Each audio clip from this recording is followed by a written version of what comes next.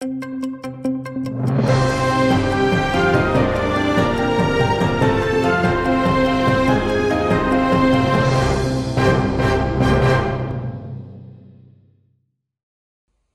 – 14 годин в окупаційному відділку поліції за підтримку кримсько-татарських бранців. 15 кримських татар, затриманих напередодні біля окупаційного кримського гарнізонного суду, відпустили лише пізньої ночі. Вони прийшли на оскарження вироку Ескендера Абдулганієва, Рустема Емірусінова та Арсена Абхаїрова. Окупанти визнали їх винними у нібито тероризмі та присудили від 12 до 17 років колонії суворого режиму. Попри те, що засідання було відкритим, родичі обранців не допустили, а окупаційні силовики у гучномовці вимагали від присутніх розійтися. Згодом почали затримувати людей за нібито порушення карантинних обмежень, хоча вони були в масках та уникали скупчень. Автобусом їх відвезли до окупаційного відділку поліції, де на них склали адмінпротоколи. Я э, уверен, что это только для того, чтобы нас устрашить, чтобы мы э, не выходили на подде- ну, чтобы поддерживать. Вот, и боялись только за свою жизнь, за свою безопасность, за свое спокойствие. И всё. Но мы, альхамдулля, знаем, что наша сила, наша сила в единстве. Наша сила в взаимоподдержке. Рішату Емірусінову вже за 70. До окупаційного суду він прийшов, щоб побачити свого сина Рустема Емірусінова, якого окупанти засудили до 17 років колонії суворого режиму. Зізнається, що через проблеми зі здоров'ям під тиском силовиків було важко. Рішат Емірусінов переконаний, що так окупанти хочуть залякати кримських татар. Но, альхамдулля, а все равно, пока ноги ходят, э, мы, я не буду останавливаться. И э, Вот эти суды, и вот эти репрессии, да, незаконные обвинения в терроризме наших детей, наших братьев, а пока ноги ходят, я буду приходить и отстаивать э, наши права нашего народа и наших э, заключенных. До конца будем бороться, чтобы их оттуда вытащить. Десятки людей прийшли до стін окупаційного відділку поліції, щоб дочекатися затриманих співвітчизників. До п'ятьох з них підійшли окупаційні силовики та завели до відділку. Це Умер Меметов, Білял Ібрагімов, Сейтнафі Муратов, Хамза Орінбаєв та Мемет Люманов. Згодом координатора Кримської солідарності Ділявера Меметова та активіста Рішата Параламова відвезли до ізолятора тимчасового тримання. Їх везли у принизливих умовах у багажному відділенні, де тримають службових собак. На інших кримських татар склали адмінпротоколи. Я пришел узнать, а, как у моих соотечественников э, дела, что с ними случилось, за что забрали. А, Тесть мой здесь, агашки, да, харбабашки, поэтому, ну, это несправедливо. И еще и меня забрали, ну, за то, что я пришел поддержать. Это давление определенное, потому что а, все проходят, все без масок, все скапливаются, да, у магазинов, но подошли именно к нам. Поэтому, ну, какое-то давление, чтобы не приходили поддерживать. Окупанти вже традиційно звинувачують тих, хто прийшов на підтримку бранців у порушенні карантину. Захист надав докази, що зборів з порушенням норм не було. Але адвокат Ліля Гіміджі впевнена, що силовики мають на меті лише залякування. Это исключительно мера, направленная на то, чтобы снизить интерес, а, чтобы сли- снизить а, общественный резонанс проходимым а, уголовным процессам и, соответственно, чтобы отбить охоту у всех, кто приходит к зданиям судов в качестве слушателей, в качестве группы поддержки, в качестве тех, кто не остается равнодушными, отбить желание приходить и вот а, длительное время быть задержанным, либо привлекаться к административной ответственности. У вівторок окупанти почали штрафувати затриманих. На 5 тисяч рублів оштрафували Рішата Емірусінова, по 10 тисяч присудили Енвіру Мустафаєву, Гафуру Мінгафарову, Садику Урінбаєву та Рішату Параламову. А Рустема Шіхбадінова та Ділявіра Міметова покарали на 20 тисяч рублів. Безусловно, мы будем подавать апелляцию. э, Обязательно мы будем идти обжаловать, потому что нарушений э, в этом уголовном, э, в административном деле уйма. Э, Обратить внимание апелляционного суда у нас есть на что. Мы, естественно, не питаем иллюзий, что апелляционный суд будет рассматривать, потому что здесь определенные уже заказанные политически мотивированные дела. Однако это нас не останавливает, и мы будем бороться на пути отстоять свое право и справедливость. То, что нас для Вера Меметовым взяли и всех остальных, которые пришли как слушатели, вчера по красногвардейской группе, как слушатели, э, военный гарнизонный суд. Это все было заранее запланировано, это было все, все было это указка сверху, э, чтобы взять э, всех э, тех, которые пришли как слушатели, э, и применить к ним какие-то административные меры, чтобы э, активных в нашем народе было меньше. Окупанти погрожують знести будинок ветерана кримсько-татарського національного руху Рустема Усіїнова. До його оселі у селі Капсіхор, морське поблизу Судака, прийшли силовики. Рустема Усіїнова попередили, що його оселю знесуть рішенням окупаційного суду, яке вже набрало чинності. Чоловікові дали п'ятиденний термін, щоб або оскаржувати рішення, чи власноруч зруйнувати будинок. В іншому разі це зроблять силовики. Після суперечки вони забралися до судака. Надвечір приїхали судові виконавці. Виявляється, по мені відбулося судове засідання, про яке я й не знав. Суд ухвалив рішення про знесення мого будиночка, оскільки він нібито зведений незаконно. Вирішили знести. Мені повідомили лише це. Коли відбулося це засідання, хто його провів, хто брав участь, я не знаю. Я не хотів брати в них якісь папери, розписуватися в них, але порадившись з друзями, вирішили отримати папери для ознайомлення. Я все ж нічого не підписав, заборонив це фотографувати. Вони пішли, давши мені п'ятиденний термін. Якщо нічого не буде зроблено у п'ятиденний термін, то будуть зносити. П'ять років в'язниці умовно через участь у незаконному збройному формуванні самооборона Криму. Такий вирок Дарницького районного суду Києва мешканцю Алупки Михайлу Кондратєву. Він у лютому 2014 року вступив до бойовиків так званої самооборони Криму. Брав участь у подіях 26 лютого під будівлею Верховної Ради Криму. За свою службу отримував зарплату, а також нагороджений медаллю Міністерства оборони Росії за повернення Криму. Тим самим Кондратів сприяв окупації півострова, але через те, що він визнав свою провину, допомагав слідству розкрити свій злочин. Суд вирішив не саджати його за грати.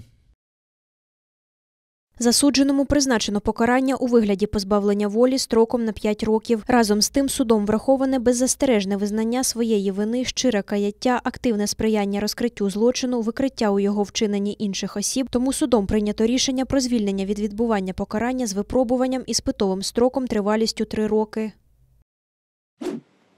Підтримка територіальної цілісності України та антиолігархічного закону, спільна підготовка до газової війни з Росією та угода про відкрите небо. А ще 600 мільйонів євро макрофінансової допомоги від Євросоюзу. Такі результати 23-го саміту Україна ЄС, який відбувся у Києві. Президент України Володимир Зеленський приймав президента Європейської ради Шарля Мішеля та президентку Європейської комісії Урсулу фон дер Ляєн у Маріїнському палаці. Вони очолюють інституції, які взяли участь у саміті. А вже по обіді вони виступили зі спільною заявою. За словами президента Європейської ради Шарля Мішеля, Європейський союз підтвердив підтримку політичної асоціації та економічної інтеграції України з ЄС, а також заявив про непохитну підтримку суверенітету та територіальної цілісності України.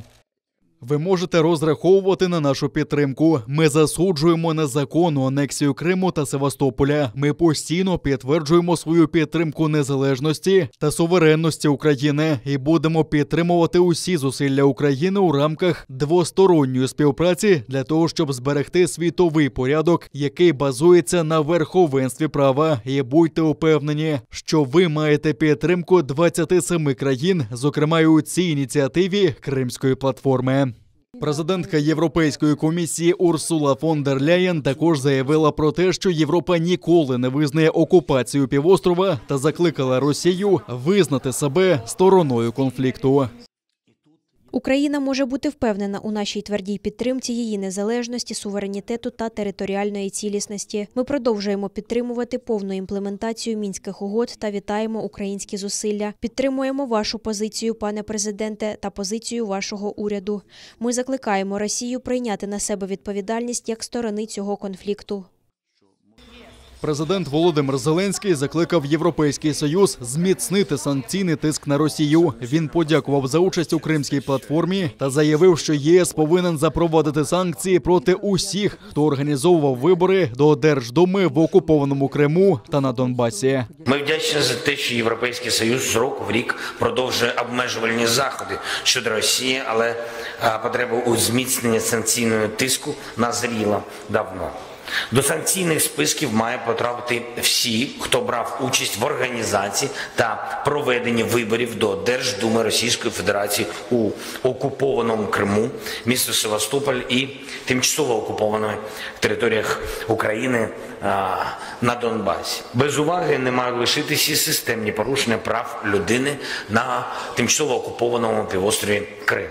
Важливий крок у цьому напрямі рішення Ради ЄС щодо санкцій проти восьми представників так званої судової влади окупованого Криму. Також ми домовились подвоїти зусилля для звільнення наших а, полонених 450 незаконно затриманих Росією громадян нашої держави. На саміті Євросоюз та Україна домовилися пропрацювати усі сценарії розвитку подій навколо постачання газу до України.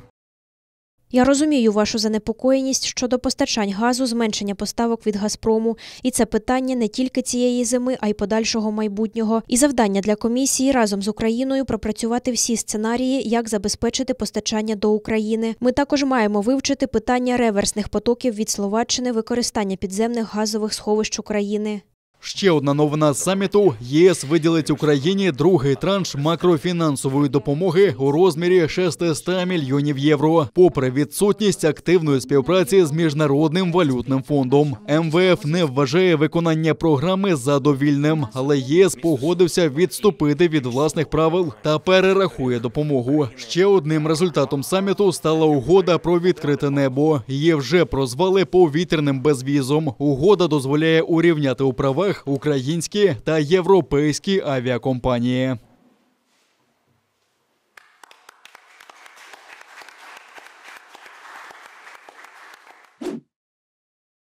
Російські окупанти поранили українського воїна. У штабі об'єднаних сил повідомили, що боєць у задовільному стані та нині під наглядом медиків. Від Кримського на Луганщині до Водяного на Приазов'ї ворог провокував з гранатометів різних систем, великокаліберних кулеметів та іншої зброї. Їх довелося вгамувати вогнем у відповідь.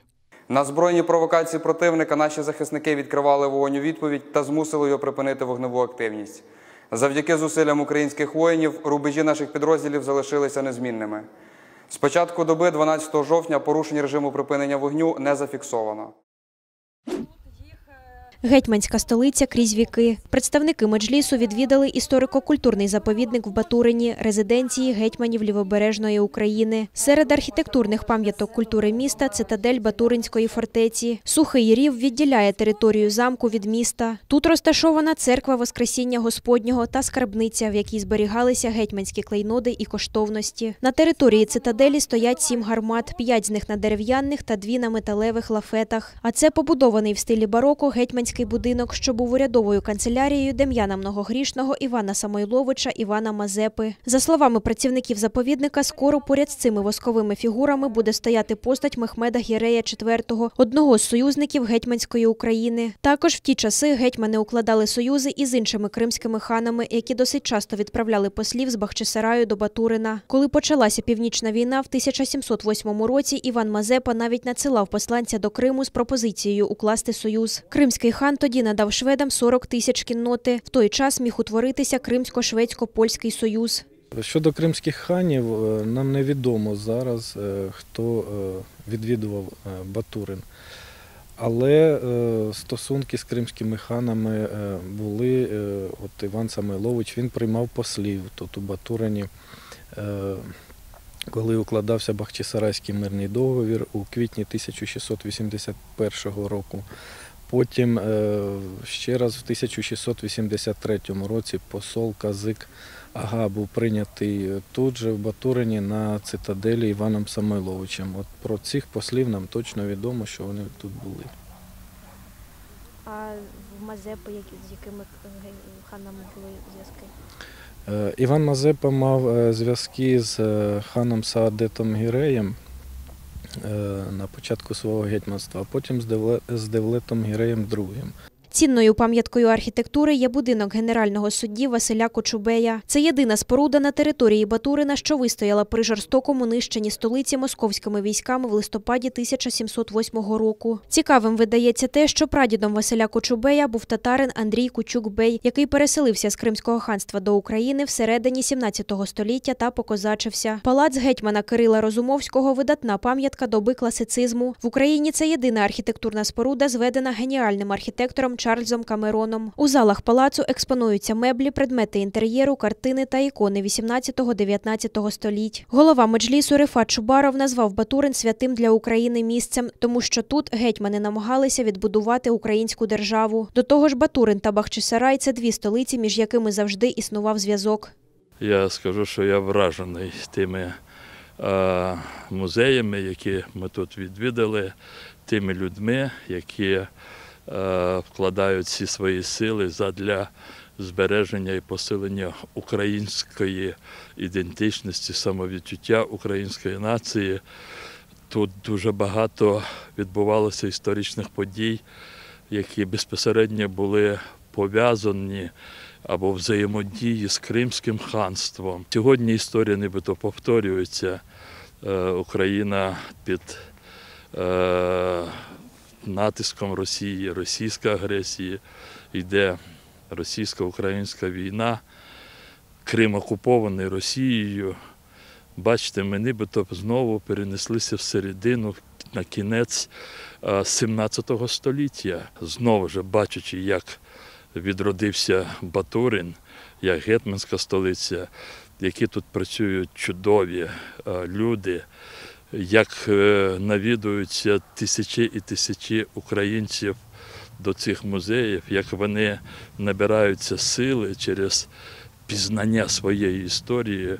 В мене немає жодних сумнівів, що цього разу наш спільний ворог йому просто не вдасться досягти своєї мети. Ми не лише вистоїмо, а ми і посилимося з цього е, е, з цієї навали, яка зараз на, на українську землю прийшла з Москви. Одним із напрямків співпраці з адміністрацією заповідника Гетьманська столиця буде вивчення спільної історії українського та кримськотатарського народів, каже Рефат Чубаров. Ми будемо проводити спільні заходи, дослідження, виставки. Ми будемо вивчати ще маловідомі сторінки історії, будемо закріплювати пам'ять про ці спільні наші дії. І це е, буде стосуватися не лише Батурина навколо, а це і Конотоп, і інші події, де українські і кримськотатарські війська були разом е, плічо-плічо і протистояли іншим агресорам. Гостям показали військово-історичну реконструкцію, що відтворила атмосферу доби руїни, під час якої відбувалося становлення гетьмана Івана Мазепи. Приєднуйтесь до сім'ї АТР та підпишіться на сайт нашого телеканалу. Для цього наберіть в браузері atr.ua, натисніть на кнопку Вступити в сім'ю АТР, виберіть суму і натисніть кнопку Підтримати АТР. Після цього заповніть дані своєї картки та електронної пошти. Оберіть регулярність платежу, погодьтеся з умовами програми та натисніть кнопку Оплатити. Перший кримсько-татарський телеканал АТР це максимальна та ексклюзивна інформація про Крим. Це єдиний осередок свободи слова для кримсько-татарського народу. Підписка на наш сайт це підтримка нашої інформаційної боротьби та ваш внесок у повернення півострову додому в Україну.